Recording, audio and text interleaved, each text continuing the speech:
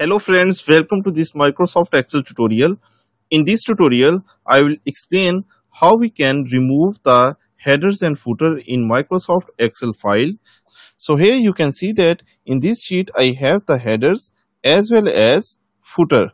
So to remove them, I will click on the header and when I click, it will select the header first section as formula and I just simply need to press the delete button.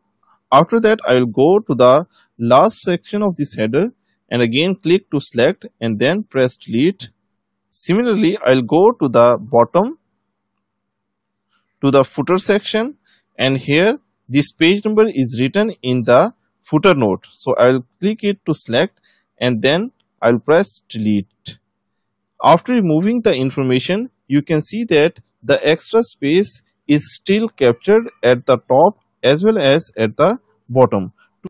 To remove this extra space, I need to bring my cursor to the left side and you can see that when it's changed to this double arrow shape, I just need to click here and when I will click you can see that the header is gone.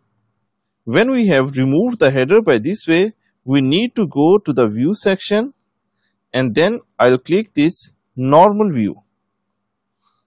So now you can see that the sheet is in the normal view and the header as well as the footer have been removed from my sheet. I hope you have enjoyed this short tutorial. If you like, please do subscribe KnowHow for more Microsoft Excel tutorials. Thanks for watching. See you next time.